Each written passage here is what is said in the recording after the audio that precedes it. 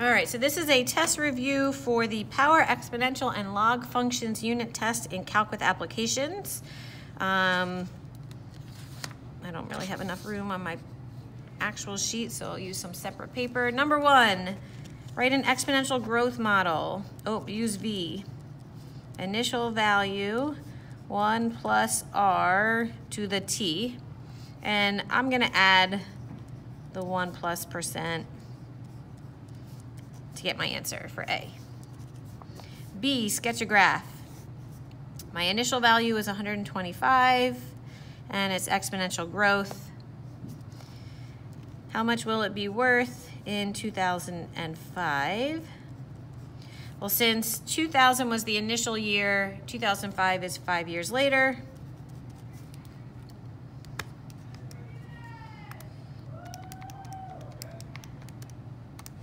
So $159.54. You have to round that appropriately. Make sure to round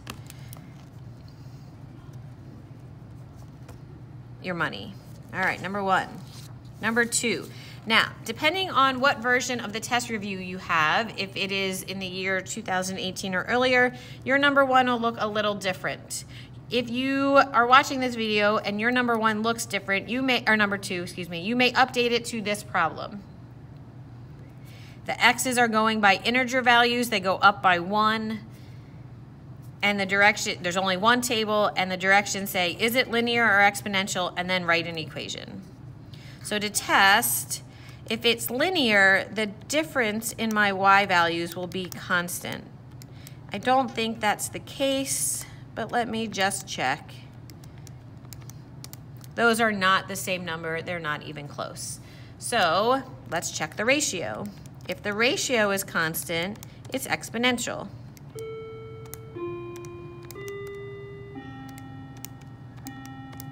And that works. Check all of them just to be sure. Okay, so that is 0.25. So that means to multiply to go to each row, you multiply by 0.25. In an exponential function, that is the b value as long as x's are going up by 1.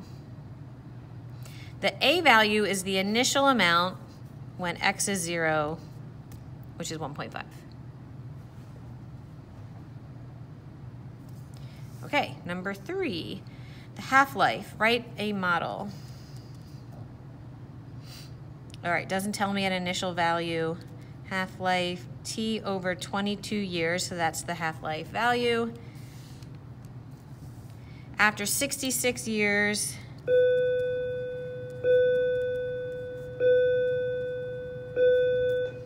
how much of a thousand grams will be left? So a thousand is the initial value.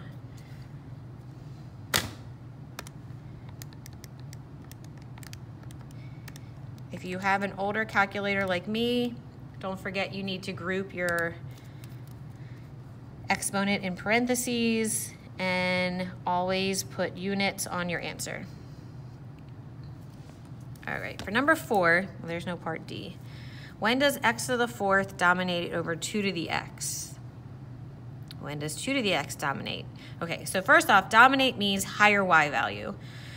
Um, the exponential function will be bigger as x goes to infinity. So I think x to the fourth will be bigger closer to zero. So in my calculator, I've got x to the fourth and 2 to the x. And I have an older calculator, but if I arrow over to here and hit enter, it changes that function to a bold. So when I hit graph, let me just do zoom 6 to start when I graph, the exponential will be bold, and that way I'll be able to see a difference. Okay, so automatically right here, I can see the graphs intersect. So if I sketch that, what number is this? Four. If here's the x to the fourth, here's my exponential, this point is second trace. Choice five is intersect. Arrow to the spot and hit enter three times at 1.24. So this is when x is 1.24. Well, at this point, the quadrat, the x to the fourth, the power function is higher, so I know that's gonna have to change again. So I'm gonna change my window and look further out in the x. So let's go to 20. Um, since my function's x to the fourth, let's see, 20 to the fourth is 160,000. So I'm gonna make my y max 200,000. All right, so there's my x power function. Oh, and there's my exponential, and it intersects again right here. So let's find where that is. Second trace, choice five, arrow to the right. Hit enter three times. And that's at 16. So if I look further out, Oh, I'm not drawing that right. Okay. Anyway, over here they're going to cross again where this x value is 16.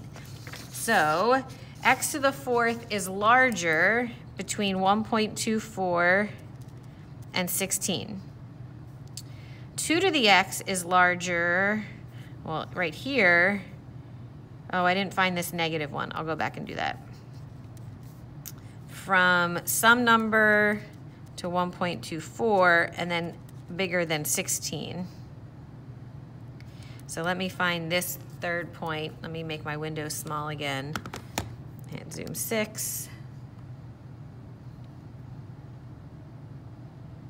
So that's over here on the left of the y-axis. Negative 0.86. So C, when will the functions be the same? That's when x is negative 0.86, when x was 1.24, and when x was 16. All three of those points, one, two, and all the way over here at three. Oop, can't see the, the third one. So in general, for number four, as x goes to infinity, the exponential function will be larger because the x is the exponent, so the exponent will automatically be larger than a const than a exponent that's not changing. All right, number five. You invest $2,000 at an annual rate of 4%. What will your balance be? So this is compound interest. Monthly, there's 12 months times 10 years so our amount of money is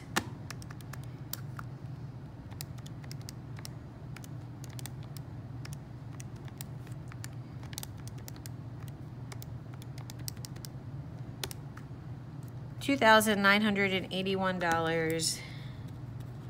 and 67 cents. Round that appropriately on your test. All right, continuously is the initial deposit E to the RT.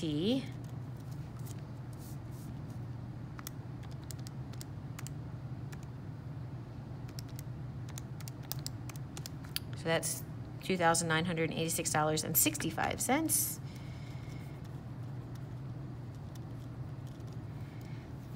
Effective annual yield only uses the base part of the um, compound interest formula, quarterly. So when we calculate that, I want a percent, but 1.04 is more than 100%. So what we do is we take away the 1 and change that decimal to a percent. So 4.06% is the effective annual yield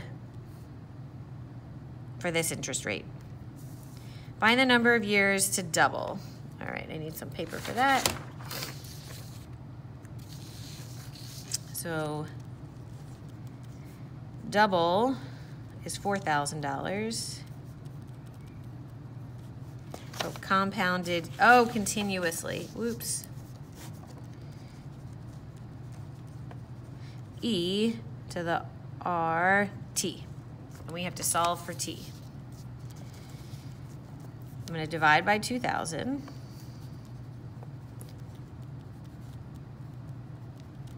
And then to solve this function, I'm going to ln both sides.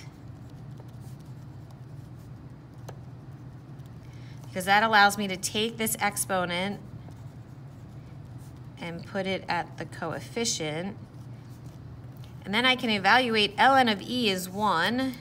So this is ln of 2 equals 0.04t. I'm going to divide by 0.04. And we get 17.33 years. And it doesn't tell me what to round to, so two decimal places is good. All right, number six, determine the amount of money that you should invest to get $6,000 compounded daily for five years. Okay, so I'm gonna type this all in my calculator.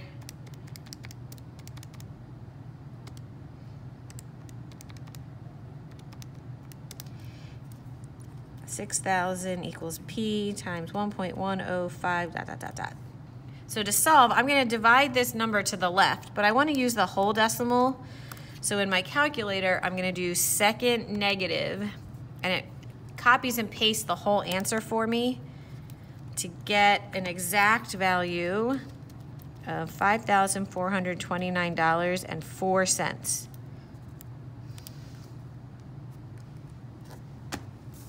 All right, to the back.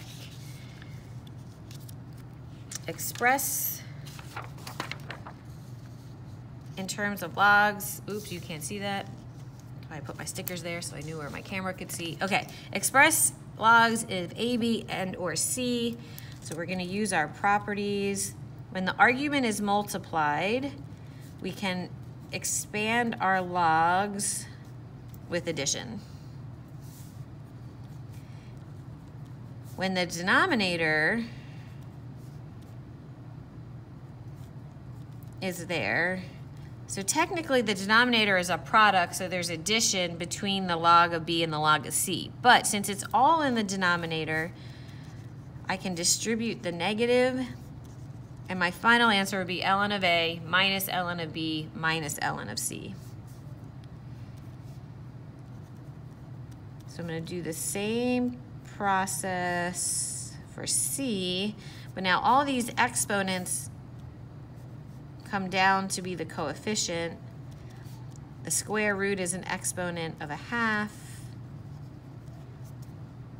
And that's how I get the final answer for C.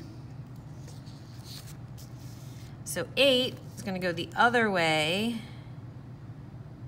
Uh-oh, this is a typing mistake. I'll fix that. So here with addition between the logarithms, we can condense the log and multiply the argument. x3 just looks backwards, so that's why I write 3x. This 1 fourth can become the exponent of the entire 5x. And then here, this should be an addition in between, uh, I think, let me see, did I print the answers? No. Bear with me for one moment while I look up what the answer should be so I know what sign should be in between. 8C. Oh, it should be subtraction. Oh, Miss Weiss. Okay, sorry. The subtraction's right here. All right, this pro, oh, this is what I was doing wrong. I was visualizing it like this. But those parentheses aren't there. But I was, my eyeball was seeing uh, x minus 3 grouped, but that's not right. That was my issue. Okay, this 3 can become the exponent. Because it's like the same property as b. This is wrong. Now, subtraction allows me to combine my argument with division. So here's the answer for C. Okay, simplify. A is saying 9a. 2 to what power is 1 eighth? Well, I can make the 1 eighth into 2 to the third, but because it's in the denominator, it's a negative 3. So the what power is negative 3. So the answer to A is negative 3. B is saying e to what power is e to the negative 2? Well, that's just negative 2. And I cannot do C until I use my properties of logarithms to separate the argument. Now, this, the 2 can become the coefficient, ln of e is 1, and that is my final answer for C. Solve. Okay, um, there's a few different strategies you can use for solving. I like to stick with the same one where I ln both sides. When I do that, and I say ln, ln, that allows the x to become the coefficient. So now to finish solving, I can divide ln of 10 to the right and get 1.623, the whole thing. Um, round to three decimal places, so 1.623. So then for B, when I ln both sides, the x becomes the coefficient, and then ln of e is 1. So x is the ln of 72, 4.277. And then for C, I cannot do anything with a log until I isolate the exponential. So first we have to divide by 5. Then if I ln both sides, I get x plus 2 equals the ln of 4. And I'm going to subtract the 2 to the right to solve, and we get negative 0.614. All right, last but not least, graph. Then do all the properties. This is an exponential decay with an initial value at 5, my horizontal asymptote. You could use your calculator if you wanted. The logarithm has a vertical asymptote. Looks like this. And then for our properties, the domain of an exponential is all reals. This exponential has a range of y is greater than zero. For end behavior, you have to do both left and right. As x goes to infinity, y is approaching zero. As x goes to negative infinity, y is going to infinity. The zeros is technically an x-intercept, so this one has none. The y-intercept is 5. The asymptote is the line y equals 0. Is bending in an upward direction, so concavity is up. And this entire graph is decreasing on all real numbers. For the logarithm, your domain is x is greater than 0, and the range is all reals.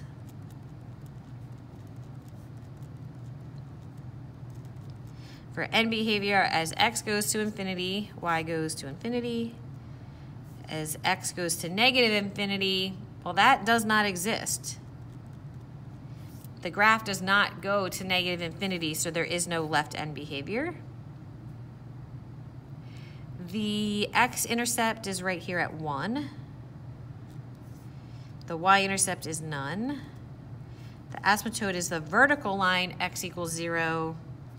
It's bending down, so it's concave down and it is increasing for every x greater than zero. And then there's one more test review page. Um, that's all multiple choice. Nice, let's do it. Which of the following is true for the exponential function? 5, the 1 half x. So if I think about that graph, it's an exponential decay like this. The range is all reals. That is not true. The asymptote is y equals 0. Yes. The function is even. Oops, you can't see it. Sorry. There's no y-axis symmetry, so it is 2 only. Which of the following is larger for y's as x goes to infinity? Ignore the coefficients. The 20,000, the 2,000, that does not matter. I'm only looking for exponents. So which graph will have the highest exponent? Oh, the exponential. Exponential will always dominate over a power function as x goes to infinity. If a was not a choice, then e would be the next, and then d, then c, then b. Which of the following is true for all logs where a ln of x? a is greater than 0 and b is greater than 0.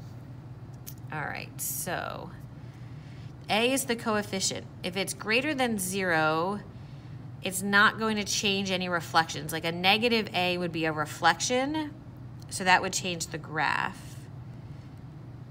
So since it's greater than 0, if it's a fraction, it's just going to stretch or shrink the graph vertically, so that's not going to change. Okay, so the domain, that's correct, is greater than 0. The x-intercept is 1. That's correct because there's no shift left or right, and it is concave up. No, that's wrong. It's concave down. So it is 1 and 2. What is the effective annual yield? So I'm only going to use this monthly. All right, let's see.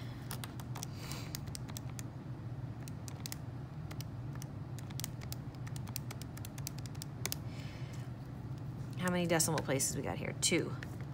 So this three does not round the nine, so 4.59%.